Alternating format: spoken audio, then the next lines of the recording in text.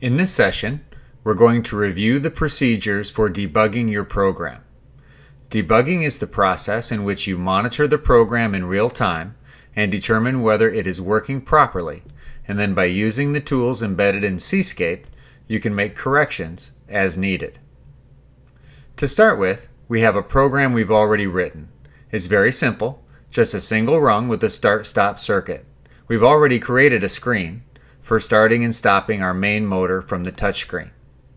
And we've also placed a pilot light object that indicates whether or not the motor is running. Before we can debug a program, that program needs to be running in the OCS. If we are going to transfer our program from the computer to the OCS, we're first going to have to ensure we have good communications between the Cscape and the OCS. In the lower right hand corner of Cscape is what's called the status bar. It indicates the status of communications as well as the run stop status of the OCS. You see local 253, where 253 is the node address of the OCS physically connected to the computer, and target 253, which is the node address of the OCS which is communicating with the computer. R indicates the OCS is in run mode. Since all indications are that we have good communication status with the OCS, we are ready to transfer our program via the download process.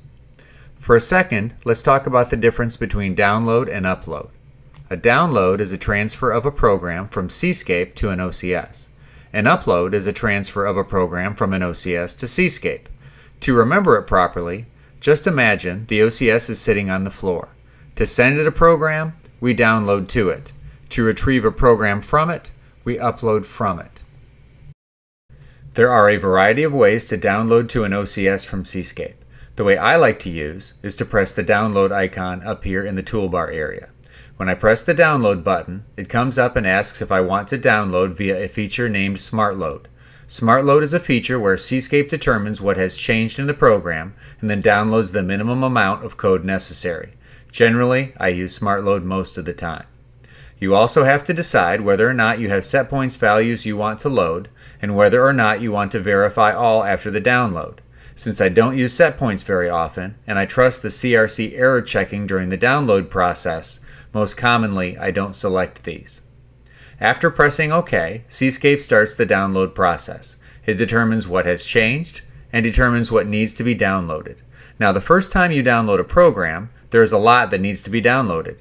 In the future, if you just make small adjustments, less code will need to be downloaded. Okay, our download is complete. We now have the same program running in the OCS as we have running on our Cscape screen.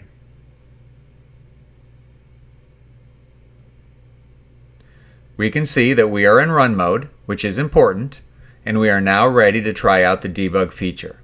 The debug feature is most commonly accessed by pressing the icon that looks like a bug. When I press that, Cscape will fill in red all of the elements that are in the power passing state. So in my program, you can see that the only element that is ready to pass power is the stop push button because it is a normally closed element that is not being pressed at the moment. Now if I want to start my motor, I'm going to go ahead and press the start button on my touchscreen. As I do that, you can see the start button contact is now passing power, but my motor is not running. Why is that? As you can see, the e-stop contact is not being made. As it turns out, the e-stop contact is configured as a real-world input, mapped into one of the input terminals on the controller. Since my OCS is not yet fully wired and deployed, that input is not on. And I don't happen to have an easy way to wire it at my desk. But I'm not completely stuck. I can always force the contact on. I do that by right-clicking on the eStop element. When I do that, Cscape provides a significant warning, telling me that forcing is not yet enabled on the controller and that it is a feature you should be using carefully. Since this is just on my desk, I'm going to go ahead and enable forcing. Once I do that, a yellow box is illuminated around that particular element and it's filled in with red indicating it is in the power passing state. Now that e-stop is forced, when I press the start button on my touchscreen, my circuit is made and my motor starter is energized. If I release the start button, the seal circuit, which is in parallel around the start button, keeps the motor running. And now the motor starter is going to continue to run until the stop button is pressed on the touchscreen or until the e-stop contact is unforced. After I press the stop push button on the touchscreen, the motor starter coil drops out, causing the seal contact to also drop out.